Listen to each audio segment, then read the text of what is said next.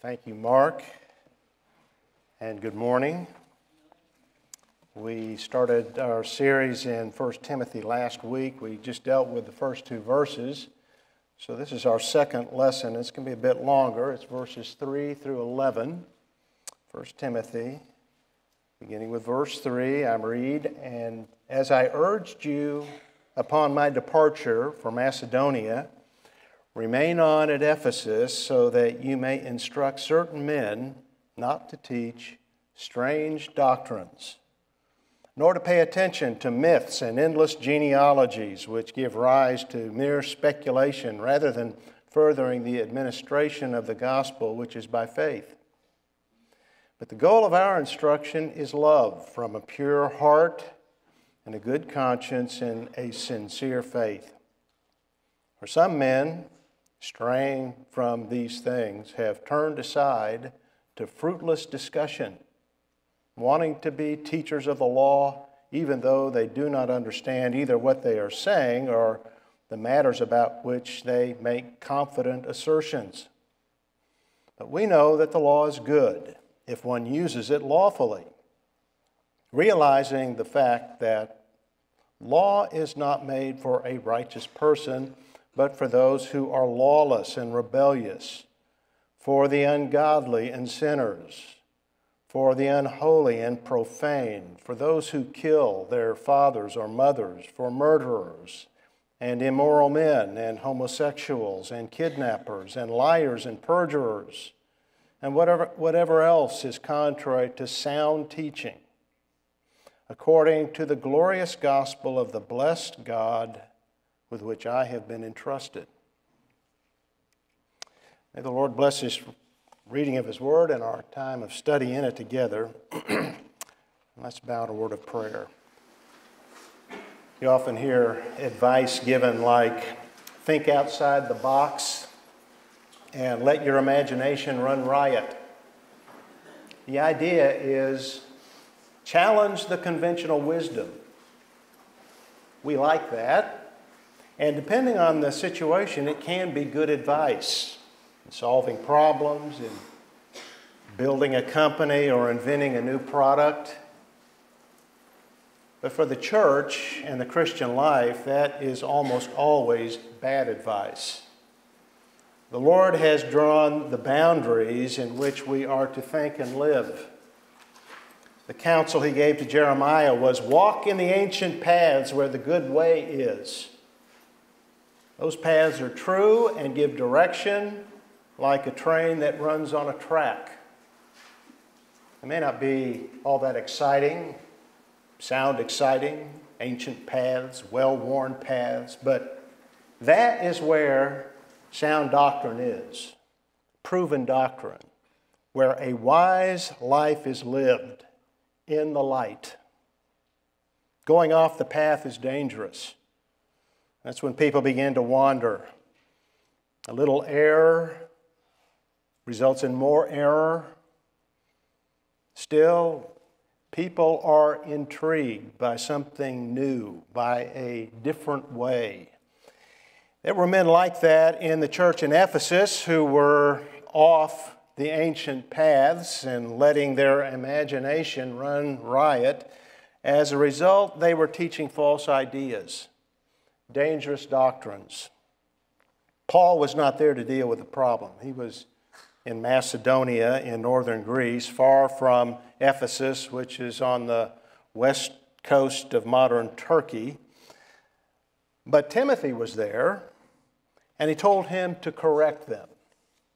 In verse 3, he reminded Timothy of the instruction that he had given to him Remain on in Ephesus so that you may instruct certain men not to teach strange doctrines. None of this was a complete surprise for Paul. It is what happens in churches. We must always be on guard against false teaching, it creeps in. But Paul also prophesied this very thing. Luke recorded it in Acts 20. Paul was on his way to Jerusalem when he stopped off at Miletus, where he met with the Ephesian elders. elders of this church. And he recounted to them his ministry and how he didn't shrink from declaring to them anything that was profitable, and he taught the church the whole purpose of God. But then he warned them that savage wolves would come in among them, not sparing the flock. From among your own selves, he said, men will arise speaking perverse things. Now, some five years later, it had happened. Men had come in among them. Maybe some of them had arisen from within them, maybe some elders, trusted men. And Paul was very concerned. It was at the end of his life. His time was short. The problem needed to be corrected immediately, but uh, Paul understood that. Um, he was not able to be there to do that. Most people think that uh, Paul at this time was in between imprisonments. He had been released from his first imprisonment in Rome, where the book of Acts ends, and he had resumed his missionary activities before being arrested a second time and sentenced to death. It was the, that last imprisonment during that period that he wrote 2 Timothy while awaiting his execution. So, all of this is near the end of his life. He had seen a lot, and he knew that it was urgent that this heresy be dealt with, that it be curbed immediately. And since he wasn't there to do it, and Timothy was, Timothy had been the, uh, assigned the task of dealing with it. Instruct certain men not to teach strange doctrines. They didn't identify the men, but Timothy knew who they were. Those men knew who they were. The whole congregation knew. They may have been some very influential men among them. But for all of the influence they had, Paul said what they were teaching was strange. And that word strange is the Greek word heteros. It means different, alien, heterodoxy teaching these men were giving was contrary to everything that Paul had given to this Ephesian church when he taught them the whole counsel of God. The dangerous teaching they were given. So we might wonder what, what was it? In verse 4, Paul says they were paying attention to myths and endless genealogies. The church fathers, Irenaeus and Tertullian, thought he was describing Gnosticism, which was very popular in their day. It was a dualistic system that considered matter evil, spirit good, so the material was something bad and to be eschewed, to be, to be avoided, and the spirit was good. You see this in Greek philosophy, you see it in Paul dealing with that on Mars Hill.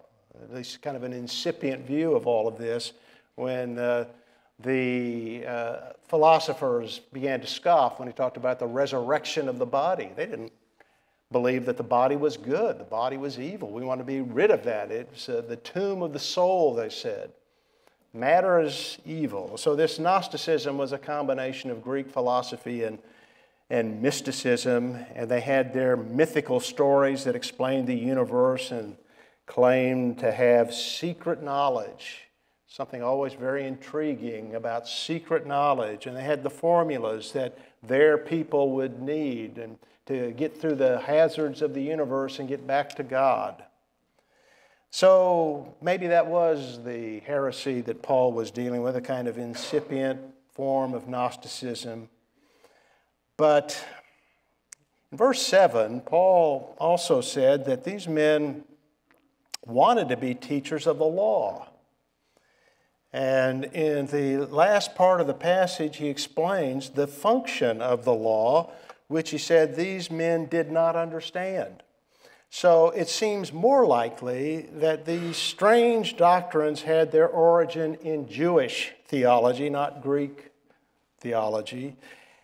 And for example, in Titus chapter 1 and verse 14, Paul warns against paying attention to Jewish myths and commandments of men.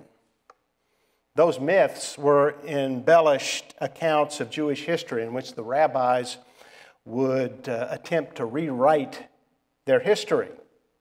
They would uh, often remove the ethical difficulties from the lives of the patriarchs. For example, in their account of Jacob, he never deceived anyone. Well, that's what Jacob means heel grabber, usurper. He was a deceiver. But they rewrote all of that. The rabbis would go through the genealogies in the Old Testament and create legends about people. They would fill in the blanks and give heroic stories uh, that they invented about different individuals. Don Carson, in his book, Divine Sovereignty and Human Responsibility, described these rabbinic writings as whitewashing and bragging. The Book of Jubilees, for example, is an example of this. Uh, it was written around 125 BC. In it, the idea of free will is stressed. God chose Abraham because he foresaw that Abraham would choose him. Now, that sounds familiar. That is a rewrite of the Old Testament. And the notions of human merit and free will were no doubt part of the strange doctrines these men taught. They were different from Paul's doctrine. In his letter to the Ephesians, he taught that by nature, apart from God's grace, we're all dead in our sins. We're incapable of pleasing God. We're incapable of, of believing in the truth. That's why he uses this very almost radical term, dead. Total inability is what he's speaking of. It is only God's grace that made us alive, that brought us to a saving knowledge of Christ. That's Ephesians chapter 2. But in spite of that, in spite of Paul's instruction giving them the whole counsel of God, and he did that for two years in Ephesus, in spite of teaching them all these things and, and teaching them day and night, these men came under the influence of the synagogue and were paying attention to Jewish myths. Now, there's a warning here for us. Believers Chapel is not immune to myths.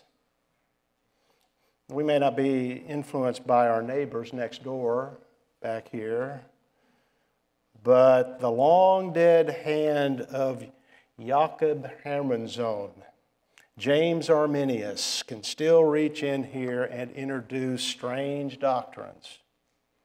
John Owen called free will that old idol, and it is an idol for people.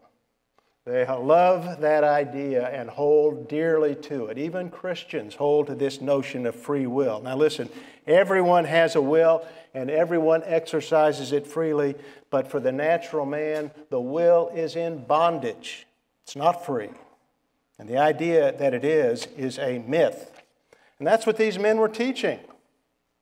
Myths are interesting, but they're not true.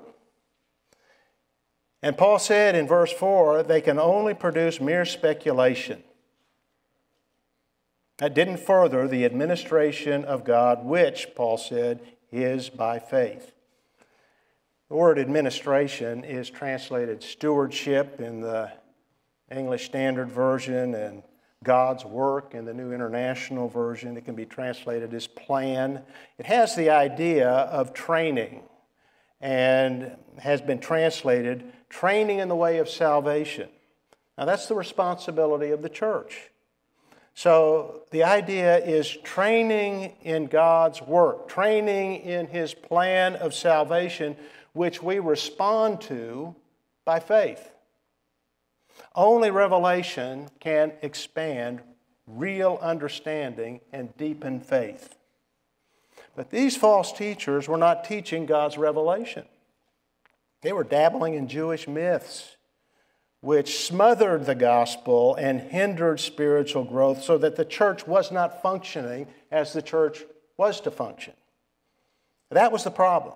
Most commentators don't think that these false teachers were Judaizers like those in Galatia who were teaching a gospel of salvation by obedience to the law.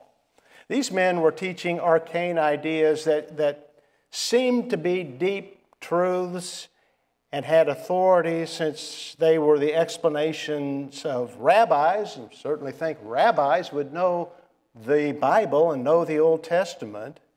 But the reality was they were just fanciful stories that were a distraction. That is often the problem for Christians. They get distracted from what is really important by things that seem to be important or by some new idea that is fascinating. That's one of the schemes of the devil that Paul warns of in Ephesians chapter 6 and verse 11. The wiles of the devil. It's to get us out of the Word of God and learning about God's work of salvation, because in learning about God's work of salvation, in spending time in the Bible, our faith is promoted. Spiritual growth occurs, and the church expands, and that is what he seeks to prevent. So there are all kinds of distractions that come along. Commentators list all kinds of uh, things that fit this model today. Books like the Bible Code that came out in the 1990s by an Israeli mathematician, I think uh, Kent Hughes, in his commentary, which was written back then, refers to that.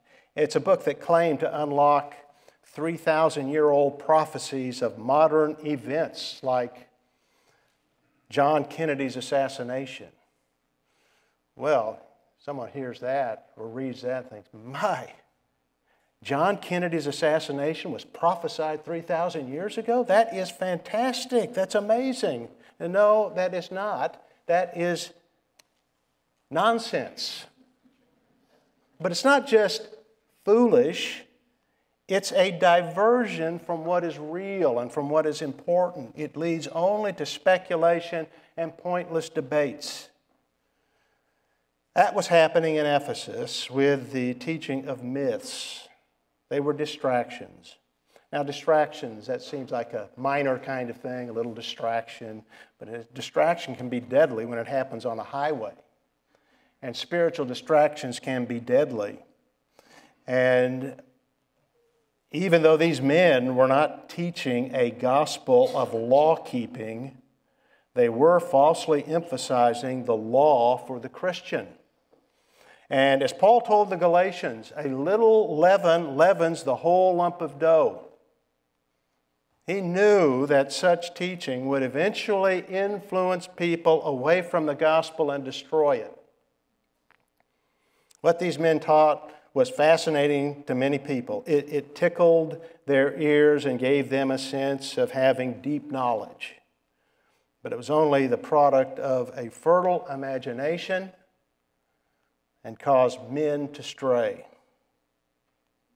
That's what Paul says in verse 6 caused these teachers who were enamored of the synagogue to stray from the true instruction and turn aside to fruitless discussion. He said they want to be teachers of the law, but they don't understand the law, even though they make confident assertions about it. These men were completely unqualified to teach. But people were listening to them and were taken in by it all because, well, they sounded so confident in what they were saying, so authoritative in what they were saying. It must be true. But confidence is not the standard of truth. Revelation is, the Bible is. So, Paul exposed these wannabe teachers of the law for what they really were men who were out of their depth and didn't know what they were talking about. The problem was not the law, the problem was these men. Paul says in verse 8, we know that the law is good if one uses it lawfully. So, what is the proper use of the law? That's an important question. John Newton, the uh, preacher and hymn writer, wrote that ignorance of the nature and design of the law is at the bottom of most religious mistakes. Well, that, that's the case, and I think it probably is. That's very important. So we need to understand the law. And no one knew the law better than the Apostle Paul. He explains it clearly in the books of Galatians and Romans. In Romans 3, verse 20, Paul wrote, By the works of the law, no flesh will be justified in his sight, for through the law comes the knowledge of sin.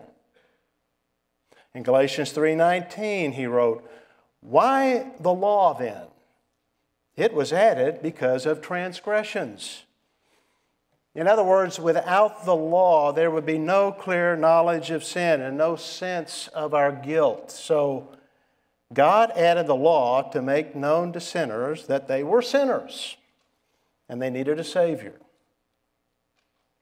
One of the first illustrations of this that I heard was when I was a boy in the 1950s. We were in the car one night. I still remember this. The radio was on, and Dr. M.R. DeHaan was preaching in his uh, distinctive gravelly voice. I don't know if you're familiar with Dr. DeHaan. He was a very popular radio preacher back then. He was a medical doctor and became a very popular preacher, and I suppose I remember this story in part because he had such a distinctive voice. But he was explaining that the purpose of the law was to expose sin, uh, the sin that's in us, and this is how we come to know it. And he compared us to a glass of water that has been sitting on a table for days, and over time it collects dust and being undisturbed, the dust settles on the bottom of the glass.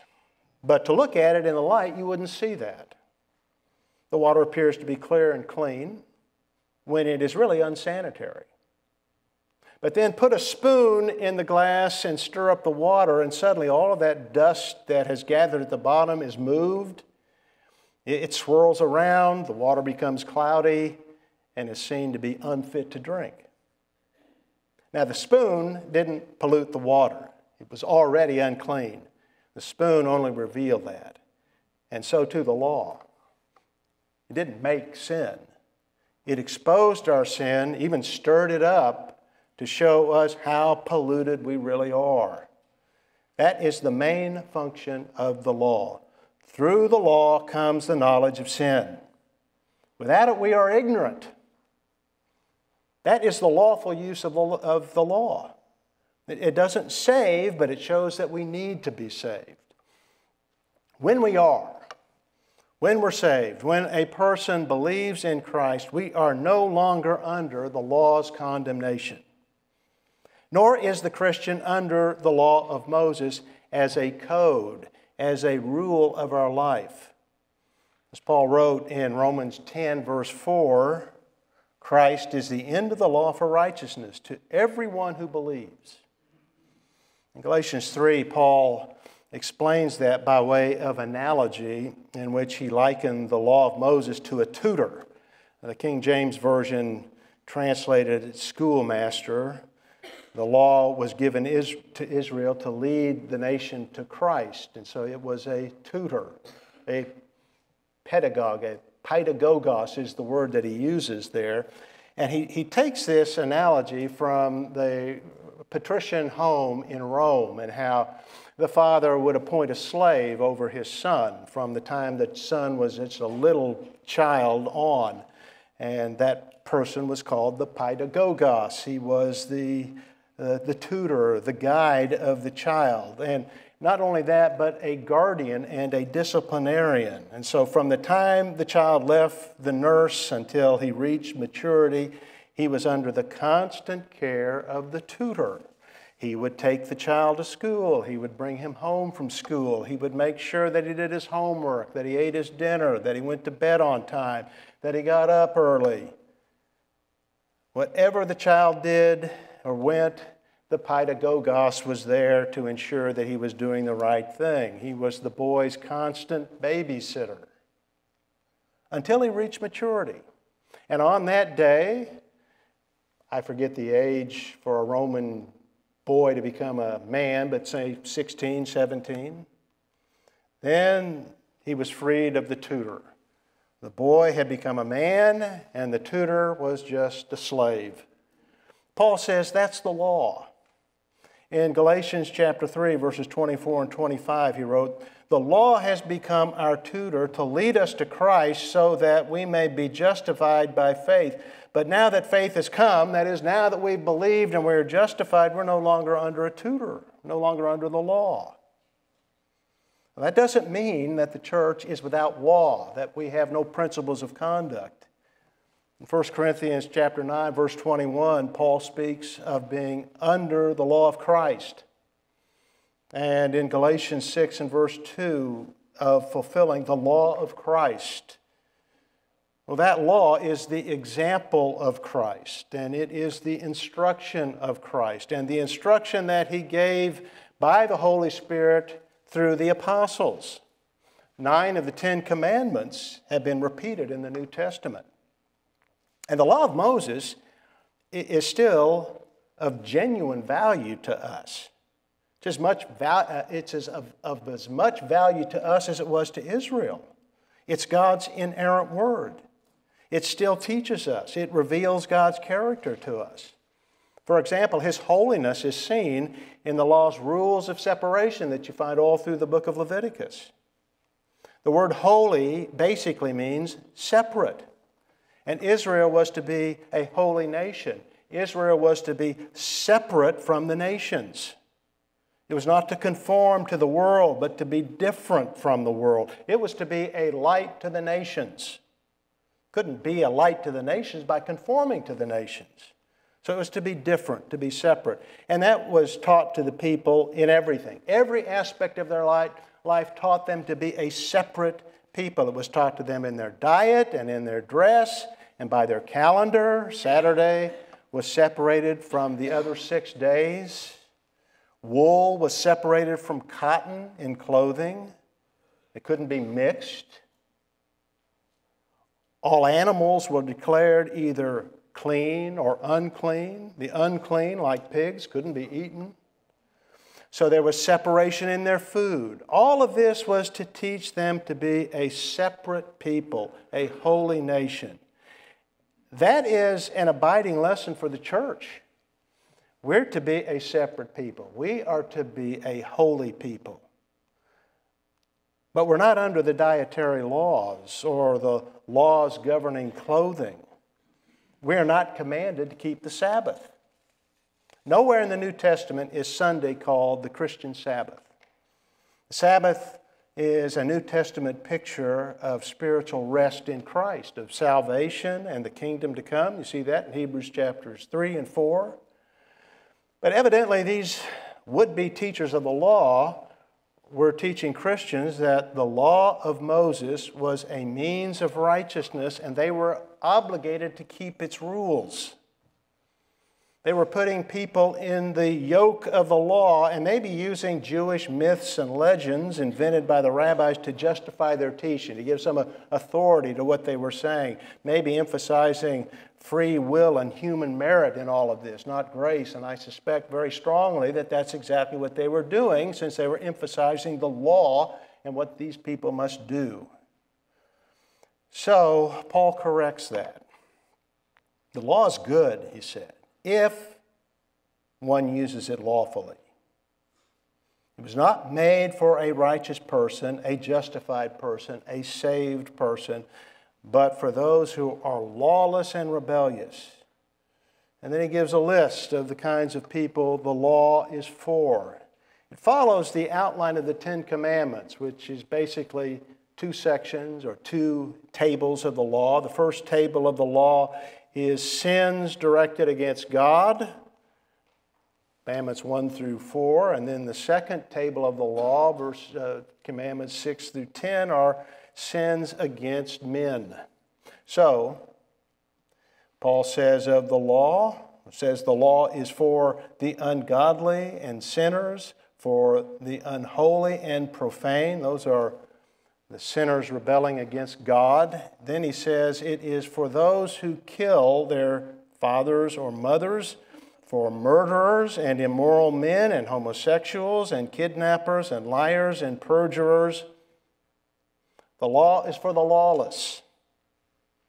It was given to restrain such men, but mainly to, sh- to show such men that they are such men. for the sinner, not the saint.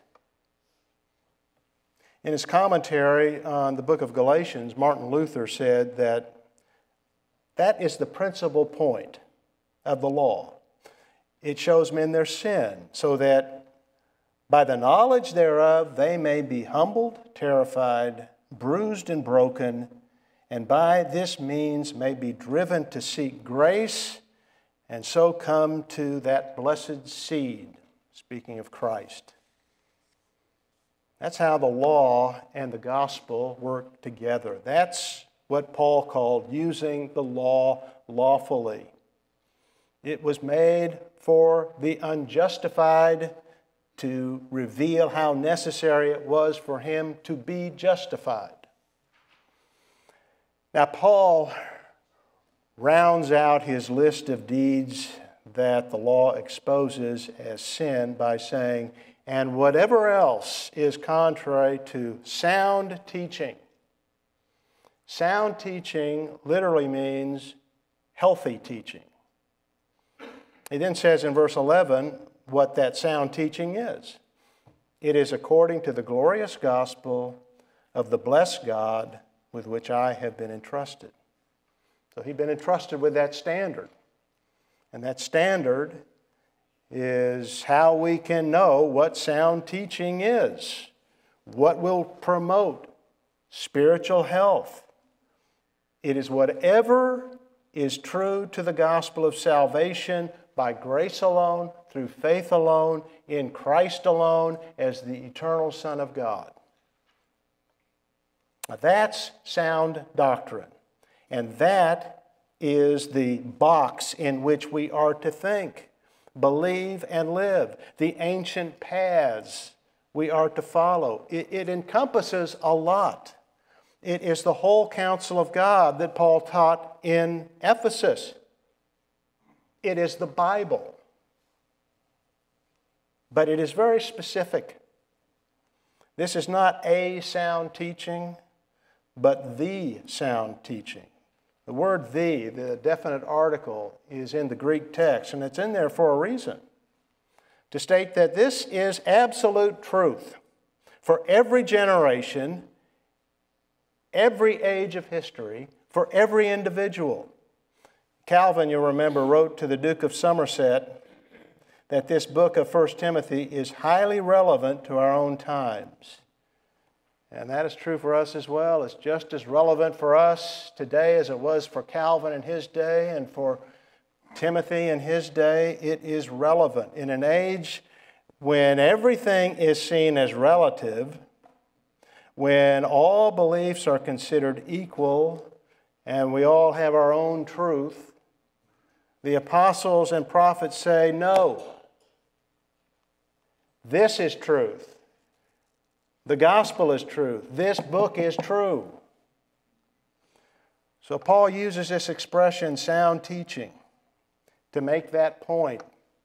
And this is the first place in his writings that he used this expression, but he uses it throughout the pastoral epistles.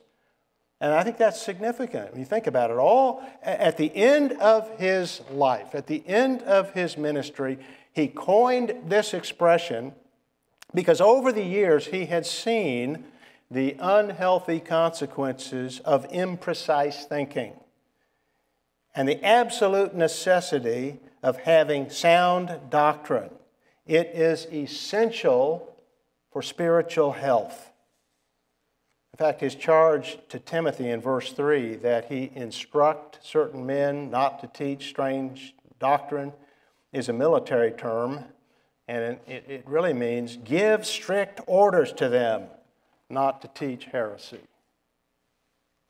But the purpose of that instruction is not just negative, to stop false teachers. It was chiefly positive and healthy, to create love. That's what Paul said in verse 5. The goal is love from a pure heart. That's what sound doctrine produces in a church. It is the first virtue of the nine listed in Galatians 5, verses 22 and 23, called the fruit of the Spirit. What the Holy Spirit produces in conjunction with sound teaching. False teaching does the opposite. It may be intriguing, it may be alluring, it may make one think he or she knows something special, but it gets people off the ancient paths where the good way is, the healthy way, and off that path is pride and selfishness, not love for the Lord, not love for the brethren, not love for the world. So there's really nothing more practical for a Christian than sound doctrine. It sanctifies, it, it cleans out the heart, and it fills it with grace. That's how we have love from a pure heart. Ralph Waldo Emerson was no Christian, but he was right when he wrote, Sow a thought and you reap an action. Sow an action and you reap a habit. Sow a habit and you reap a character. Sow a character and you reap a destiny. We become what we think. So we need to think on what is holy, what is true. We need to fill our minds with sound doctrine. And where do we find sound doctrine? It's in the Word of God. It is the Word of God. This is what we need to know. Sinclair Ferguson wrote There's no immediate pathway to getting to know God's Word intimately. There is no quick fix. We can only do this the old fashioned way by reading it often and learning it well. The remedy, he said, is soaking ourselves frequently in God's Word, saturating ourselves in the truth. Now, that is thinking inside the box, and it is liberating. It produces love for God, it produces love for His people, it produces a love for the lost and needy. And love is one of the best tests of sound doctrine and best advertisements for sound teaching. Knowing the Word of God. Of course, it's, it's possible to be doctrinally correct and cold that's a failure we must always be aware of and, and in prayer about, and be ever vigilant to act against it, keeping winter out of our hearts. We need to scold ourselves for not loving Him who loved us and gave Himself for us, for not loving our brother or sister for whom Christ died. But listen, we will never do that, we will never get to where we need to be. We will never have a love, a genuine love and pure heart for the Lord unless we are saturating our souls in the Word of God. And I don't mean just reading the Bible and knowing about the people of the Bible and the events of the Bible and having all of that down we need to know the meaning of the Bible, which is to say, we need to have the theology of the Bible in our hearts. We have to understand what it is teaching, which is the sound doctrine that Paul is speaking of here. We need to heed his counsel in Colossians 3:16, let the word of Christ dwell richly in your hearts. Be serious about God's word, know it and live it. So, May God make sound doctrine take root in our hearts and bear fruit in our lives. It will, it will, if we're serious about it. All of this, truth and love, Paul said, is according to the glorious gospel. The gospel is God so loved the world that he gave his only Son, that whoever believes in him should not perish but have eternal life. If you've not believed in Him, if you've not put your faith in Jesus Christ, then you are not on the ancient path where the good way is, but you're on a path, and that path leads to destruction. It leads to eternal death. Believe in Christ. Flee the wrath to come. Trust in Him and be saved. He receives all who do, and then live on those ancient paths where the good way is. Live within the Word of God. May God help all of us to do that. Why don't we stand and sing hymn number 14 in the Songs of Praise book? Wonderful, merciful Savior, and then remain standing for the benediction. Hymn number 14. Father, we thank you for the healing that your Son has brought us. And we thank you for the new life we have in him, the forgiveness of sins and life everlasting. What a thought that is. May we hold that thought and may we be influenced by it and filled with love for you, for our triune God, for what you've done for us, are doing for us, and will yet do for us. Thank you for Christ and for his death for us, and in his name we pray. Amen.